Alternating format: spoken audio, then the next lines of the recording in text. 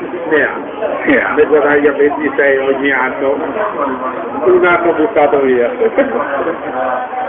Ehm, lì.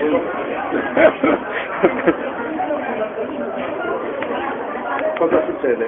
Tutti quelli che vendono droga in Italia, ovviamente il denaro, che è tutto in nero, non è pulito, lo portano all'estero per non farlo risultare qua in Italia. Capito? Lo Stato ha detto